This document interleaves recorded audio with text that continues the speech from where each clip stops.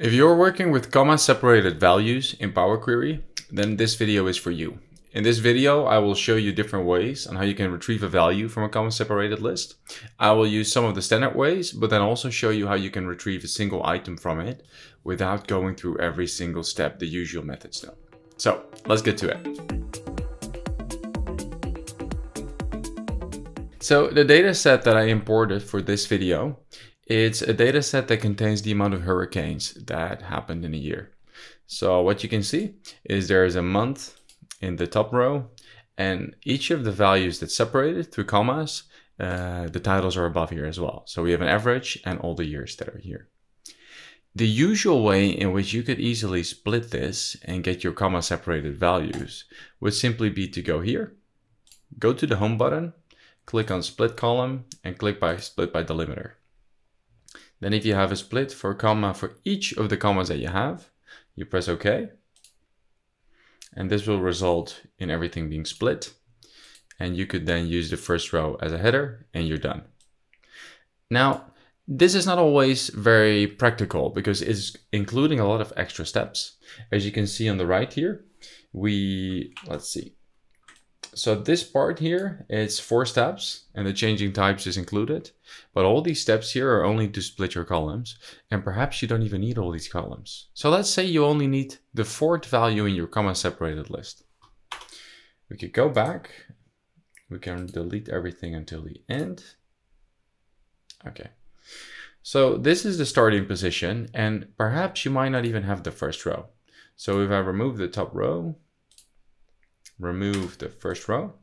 Perhaps this is what your column looks like. That's what a client of mine recently had. Their database stored everything in comma separated values, and they didn't get to the point yet where they had transformed this in a good format.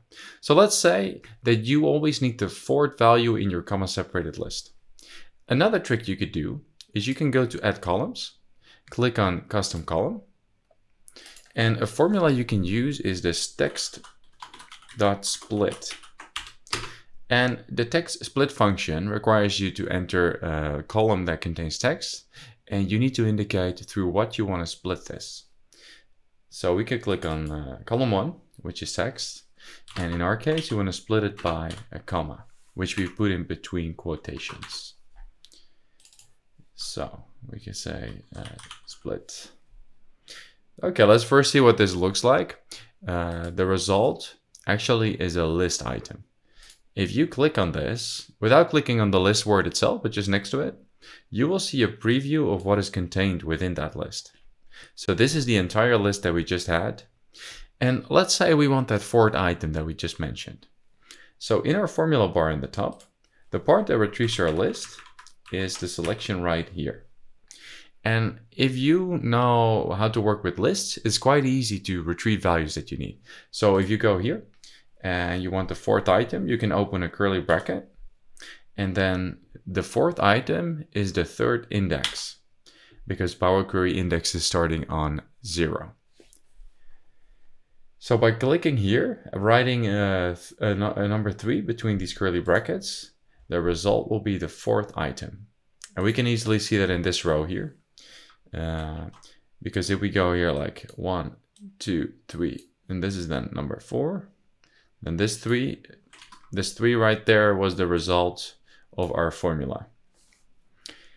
Now we still made this with extra steps and perhaps you don't even need to keep the original column and you only need to get uh, the value and the column can be, just be uh, thrown away. So to make this even easier, we can do something else.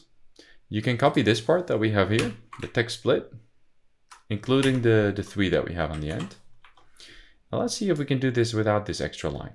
So this is our starting position.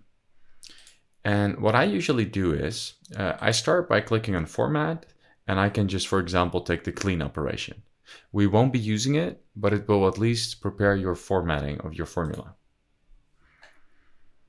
Uh, I'm in the wrong column here. We're in the add column section, which will always do the perform the operation in a new column, but we need to go to transform first. And then you go to format and then you can click on clean. And in the top, you can see that the table transform columns uh, formula is added. And within this function, the text clean is embedded.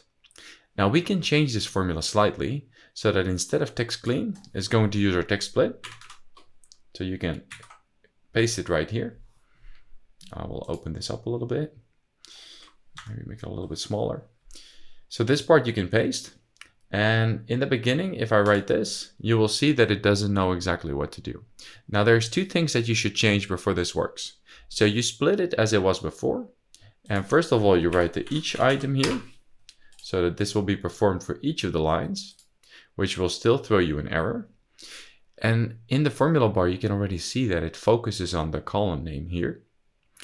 And because it already knows what column we are working with, instead of referencing the column right here, you could just write a lower, an underscore, which also indicates that it relates to uh, the field that has been referenced earlier.